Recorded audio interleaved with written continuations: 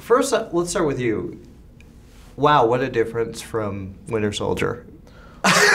That's that's the goal. Uh, uh, yeah. What, I mean, were you kind of had you done this kind of humor? Had you done this kind of improv before? Really? No, I mean, I think for some reason uh, I I end up sometimes getting cast as like assholes, which is which is great for me because then all the people I went to high school with, I can just like throw throw out, you know, throw in front of a screen. That's basically what happens. But um, uh, I don't know. Yeah, I just it was a it was a really funny role, and um, the dialogue was just insane, and and had me laughing when I was reading it, and. Uh, you know, it was yeah, it was a chance to to work with some really clever, very funny people, and uh, and that only elevates you in the process. And do gymnastic sex, which is Right. you don't get to do that often. I don't think. No. no. You don't know Sebastian. Oh mm. really? Oh mm. okay. There's I things we don't know. I Oh, have that's seen the private Snapchat videos, and they are Right. dope. I really like this character. I really connected with him. I I grew up in a small town. Oh, yeah. Where did you find him? And and, and the the little twitching thing was that always part of the script or? Yeah, yeah, that's uh, that's that's written into it. That's his name. That's the whole. That's that's that's a big character color for him. Uh, for me, you know, like Ben's or Twitchy is just this sort of like uh, kind of very enamored, very kind of innocent guy. I mean, he he really is quite infatuated with Hope Hopan Gregory, and kind of like uh, kind of like her dad sees the legend, but also sees a bit of like the wounded bird, I guess. Um, not that he wants to like help her, but he just like wants to be. He wants to get to the real her.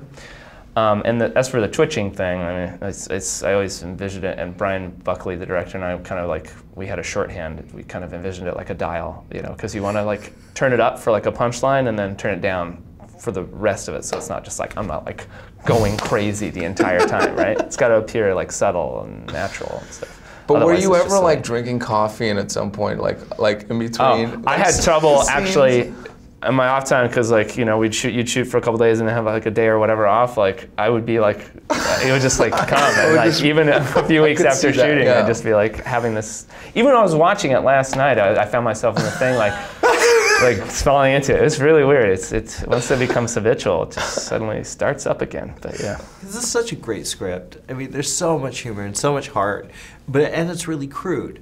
Yeah. What is what attracted? Is that what attracted you guys to the script? Because it's really, I think, unusual. I've always been a fan of like those dark comedy movies like Borat and Very Bad Things and things like that where just outrageous things happen and and then you know if you got to have a sense of humor for it I guess Uh, so to me that was you know I loved like how much this movie was bringing out the cynic in you if you will you know like you don't see that every day no, you Yeah. don't see. And she's such an, a unique character. And uh, you, what, what was it for you? Was it that kind of dark edge? Yeah, darkness and and and also um, some sadness. I really think. I mean, like the.